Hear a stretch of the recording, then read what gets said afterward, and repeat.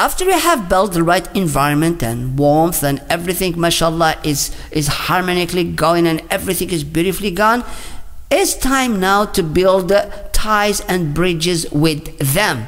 You've created the environment for them. Now is the time to actually build a relation one to one or one to two or three to one, whatever but you need to build a relationship with them all.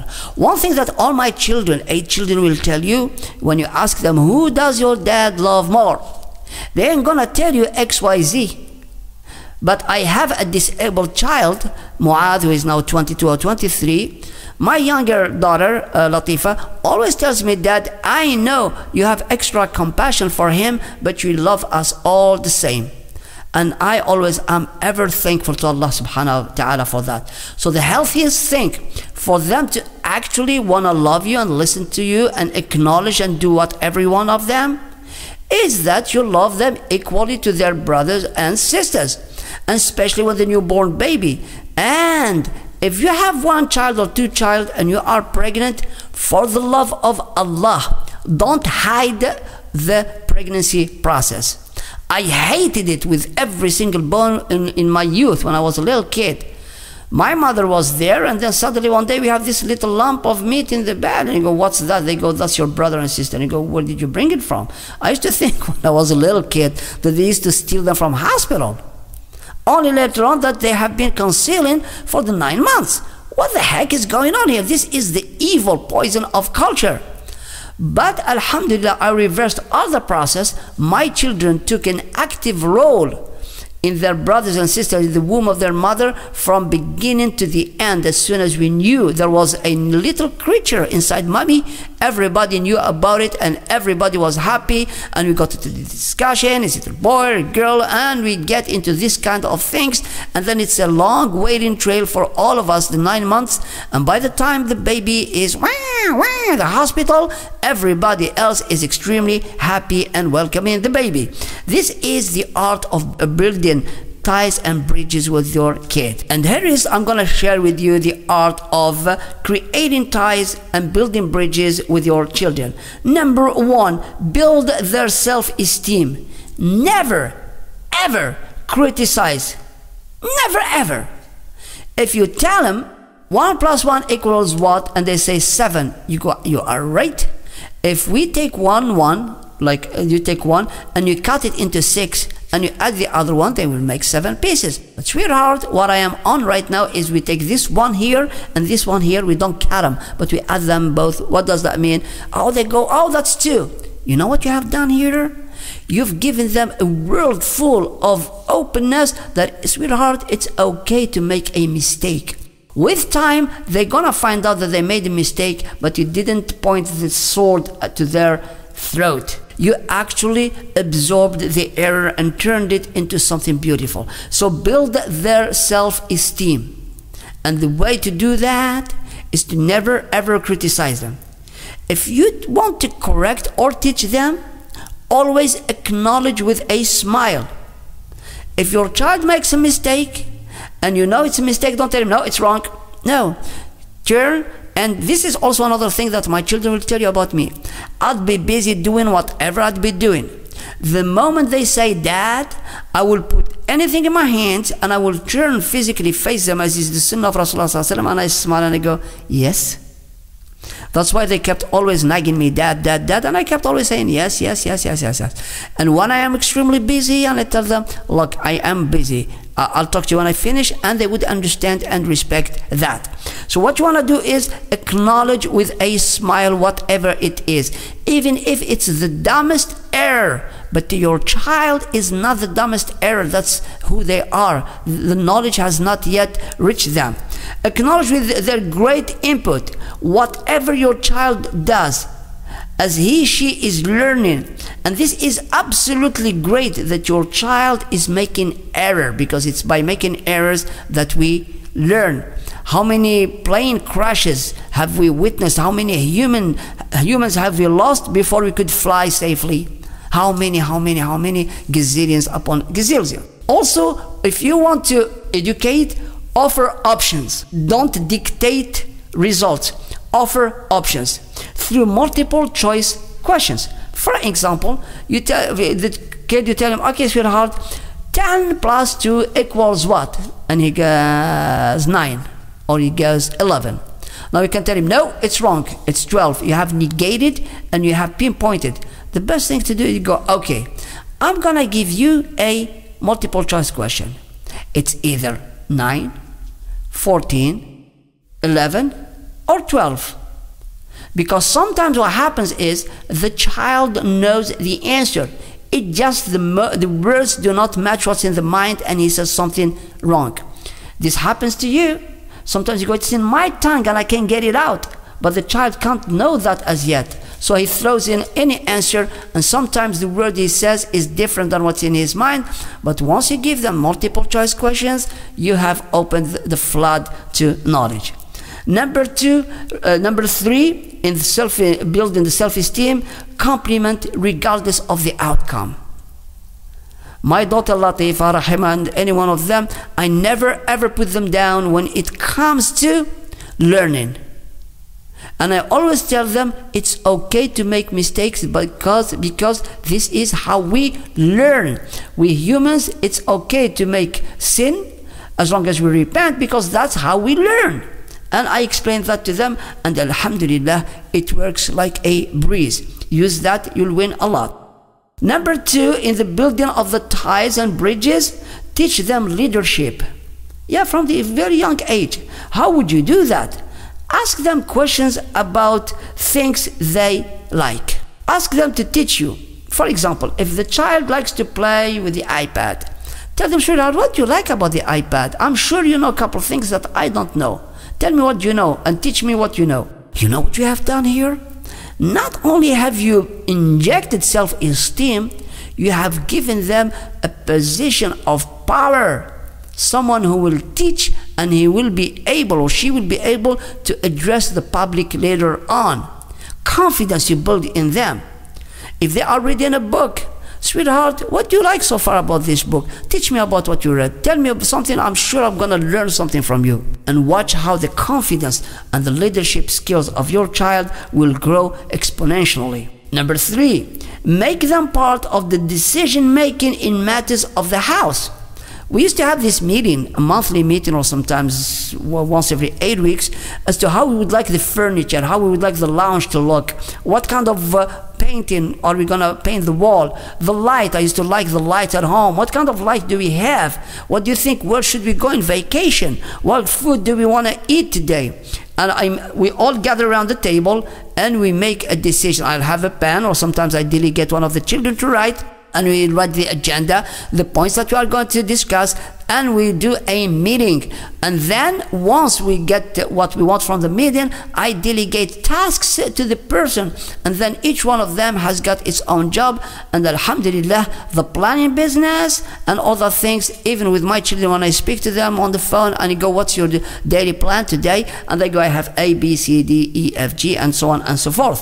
And so please, please involve them in the decision making process. Hey, we want to go and visit your granny and grandfather, when do you think, guys, you think we should go? And let the kids speak. It's okay. You don't, uh, and you're not obliged to do what they say, but at least you are teaching them to be part of the decision making things. Number four, develop with them a bedtime stories. Create in them a stories addiction. I did that with all my children, alhamdulillah, but with Rahim and Latifa, particularly the 13 and the 9 years old, one they were about 5 and the, the other one was about 8. I started with them the story, bad story, like half an hour from pre-Adam's creation, alayhi salam, until the life of the Sahaba and beyond. So much so that Latifa last year when she was eight, she reads books and alhamdulillah, she came to me with her book and she goes, Dad, and I go, yeah, she goes, in this book, this is a mistake here. Why she, they read that uh, when the Prophet ﷺ was migrating, Allah put on his, on the cave, a spider and a pigeon. And she came to me and she goes, Dad, this is wrong. It didn't happen like that. And I was so thrilled. How did subhanAllah remember it? Even now, when I talk, I mention a story about a prophet. She straight away looks me up. This is nine years old. And she goes, yes, I know, I know, I know. This is, this is, this is. They even know the, the stories of the people that have reverted to kufr after Rasulullah died and the expeditions and the battles and Musaylim al-Kadhab and al-Aswad al-Anzi and Shaja and Suja. All these people, maybe the first time you hear of them, but Latifa knows them for the last four years. So please create an addiction to tell them stories before bed. It works wonders, mashallah, on their intelligence, on their knowledge, on everything. And you teach them also and you link them with Islam. Storytelling, my brothers and my sisters, enhances your child's imagination exponentially to no end. Smartphone, tablet, PlayStation, or all these things, they kill imagination and they constrain creativity the child it creates in him an element of fusion of emotions. Anger fear shoot kill all these things. But when you put them in the bed and you start telling them stories about the past and now and link it to prophets it's unbelievable how beautiful the mind works with them. So please please please work in developing in your child imagination with what? Storytelling. And this is how you gotta look don't put your kid into bed without telling him a story. I'll tell you why. The brain throughout the day gathers data of what's going on here and there and everything. At night, when you go to sleep and the mind gets to rest, he hands over the, your physical activities to the spine. So the spine will take care of your scratching, your tossing, all that kind of stuff. The subconscious starts fighting the information of what is important to you the subconscious will start always with what is the latest you went to bed with. So as soon as you get in bed, the subconscious will be handed over the stories of the Prophet. Your subconscious will straight away consider what you did before bed as important and it is fresh. And this is why it stays in the mind of your child until eternity comes or your child dies, whichever comes first. Number five, engage them with sports and activities and also engage them in activities that matters to the intellectual. If you don't plan, your children won't plan. If you don't read, your children won't read. If you don't do the sunnah at home, the kids won't pray the sunnah at home. If you are not sporty, the kids are not sporty, and so on and so forth. I used to live in Fulham, and uh, the mother would pick up the kids back then, and uh, she'd drive to Richmond, and that is about uh, seven miles. And I would go and run from Fulham to Richmond, seven miles and then and I meet them there and then I play with them soccer and then we come home all in the car. My kids grew up seeing their dad sporty and alhamdulillah that is helping a lot. So as I said, engage them with sports activities, intellectual activities, play educational games with them like Monopoly or other family games. Take them to the library. Honestly, take them to the library. I do love that. I take my kids to the library and I tell them this is the kids' uh, library as in Foyles in Charing Cross, not the, or you go to the public library, whichever. I go there and I do this for two reasons. One, it's good to educate the kids to love the library, read and things like that. And also, I see what interests my kids, what kind of books they read. It gives me an opportunity to buy them gifts. So if I see them reading books about the planes, I go, uh huh, okay, we've got an idea. Thank you very much, sir. You've given me an idea for your next gift and then I buy a gift, whatever, a plane or book about planes, and the girls, what, the hell, okay, what is she reading? I see she's reading something about that. All right, I'll get her that. That's it. They give you ideas. Kids talk to us every single day about how much they love and what they love, and it is just us who don't pay attention to them. Please do that and involve them in activities that involve the brain and sports. Create a daily salat manager at home. If you have two or three kids, and create a manager.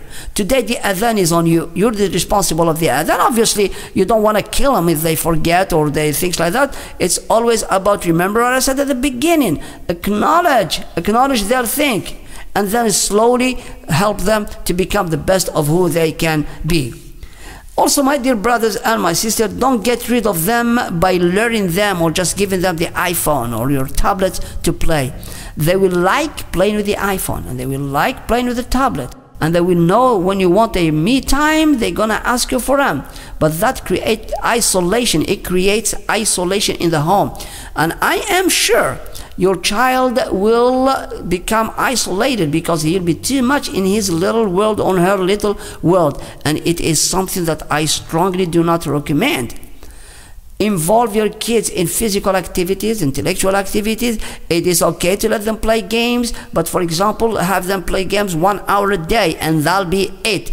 Don't make the whole day play of games and don't think by them sitting there and playing games you are doing good. You actually are damaging their creativity, you are damaging their emotions, you are damaging their social skills in interacting with people. And this is why today teenagers, they don't have they have more friends in the technical world, like uh, games and things like that, than real friends. billah.